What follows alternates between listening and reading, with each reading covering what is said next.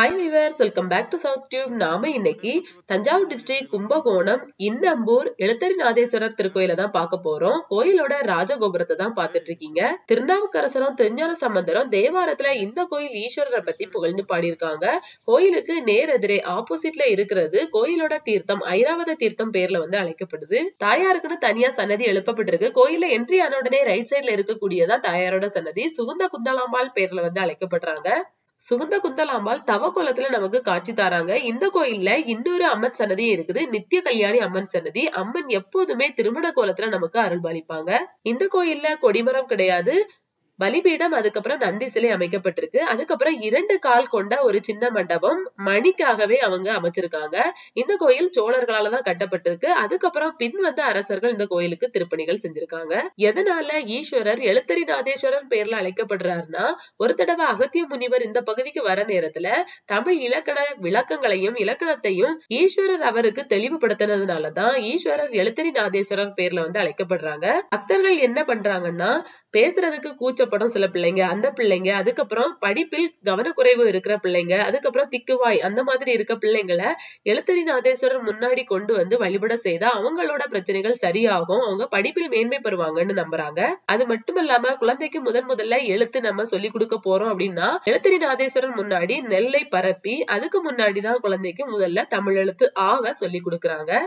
துர்வாசக முனிவர்கிட்ட சாபம் பெற்ற தேவலோக யானையான ஐராவதம் இந்த கோயில் ஈஸ்வரரை வணங்கி சாப விமோசனம் பெற்றதாகவும் கூறப்படுது. சூரிய பகவான் இந்த கோயில் எழுத்தரிநாதேஸ்வரரை வணங்கிதான் அதிக ஒளியை பெற்றதா கூறுறாங்க. அதனால அதை கருத்துல கொண்டு சூரிய பகவான் ஆவணி புரட்டாசி பங்குனி மாத சில தேதிகள்ல சூரியனோட ஒளிக்கதிர்கள் சிவபெருமான் மேல விழுற மாதிரிதான் கோயில் கட்டப்பட்டிருக்குது. இந்த நிகழ்ச்சிய சூரிய பூஜையாகவே பக்தர்கள் நின்றாங்க. சூரியனுக்கு இன்னன் அப்படிங்கிற பேர் இருக்குது. அதனாலதான் இந்த ஊருக்கு இன்னம்பூர் அப்படிங்கிற பேர் வந்தது.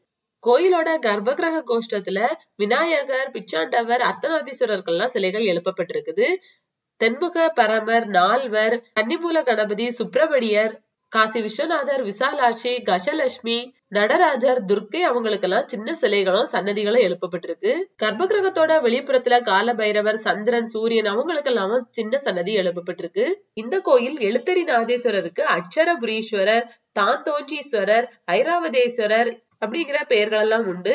அச்சரம் அப்படிங்கிறதுக்கு எழுத்து அப்படிங்கிற பொருள்படும் அதனால அச்சரபுரீஸ்வரன் பெயர்ல வந்து அழைக்கப்படுறாரு. ஒரு தடவை சோழ மன்னன் ஒருத்தர்கிட்ட சுதன்மன் அப்படிங்கிற கணக்கர் வேலை பார்த்துட்டு வந்தாங்க. நாட்டோட கணக்கு வழக்குகளை அவர் தான் பார்த்துட்டு வந்திருக்காரு. ஒரு தடவை மன்னன் வந்து உரிய கணக்கை தனக்கு சரியாக காட்டும்படி உத்தரவிட்டிருக்காரு. அப்போது சரியான கணக்கை காட்டியும் மன்னனுக்கு ஏன் பிடிபடவில்லை அப்படின்னு நினைச்சு வருந்தி எழுத்தறிநாதர்கிட்ட வந்து வணங்கியிருக்காரு. அதற்கு சிவபெருமான் சுதன்மனோட வடிவிலேயே மன்னன்ட்ட போய் அந்த கணக்கு வழக்குகளை சரியா காட்டியிருக்காரு. கொஞ்ச நேரம் கழிச்சு மறுபடியும் சுதன்மன் கணக்குகளை எல்லாம் எடுத்துட்டு வந்து மன்னன்ட்ட கூறவே மன்னன் வந்து இப்போதுதானே வந்து கணக்குகளை காட்டி முடித்தீர் அப்படின்னு வந்து சொல்லியிருக்காங்க. அதுக்கப்புறம் தான் தெரிஞ்சது சுதன்மனுக்கு ஈஸ்வரன் தான் தன்னோட வழியில வந்து கணக்குலை காட்டியிருக்கார் அப்படின்னு. அதற்கு அதுக்கப்புறம் எழுத்தறி நாதேஸ்வரரோட அற்புதத்தை உணர்ந்த மன்னன் சிவபெருமானுக்காக ஒரு கோயிலையும் எழுப்பியிருக்காங்க. கோயிலோட தீர்த்தமான ஐராவத தீர்த்தத்தோட வீடியோ இந்த வீடியோவோட லாஸ்ட்ல வந்து அட்டாச் பண்ணிருக்கேன் இந்த வீடியோ உங்களுக்கு யூஸ்ஃபுல்லா இருந்துச்சுன்னு நினைச்சீங்கன்னா வீடியோவுக்கு ஒரு லைக் பண்ணிருங்க சப்ஸ்கிரைப் பண்ணுங்க. பக்கத்துல இருக்க பெல் பட்டனையும் பிரஸ் பண்ணுங்க. அப்பதான் நாங்க போடுற வீடியோ உங்களுக்கு உடனுக்குடன் நோட்டிஃபை ஆகும். இந்த வீடியோ பத்தின உங்களோட கருத்துக்கள் எதுவா இருந்தாலும் கண்டிப்பா கமெண்ட்ல தெரிவிங்க. இந்த கோயிலுக்கு நீங்க ஆல்ரெடி போயிருந்தீங்கன்னா உங்களோட எக்ஸ்பீரியன்ஸ் எப்படி இருந்துச்சுன்னு கண்டிப்பா கமெண்ட்ல தெரிவிங்க. இன்னொரு வீடியோல சந்திக்கலாம். நன்றி.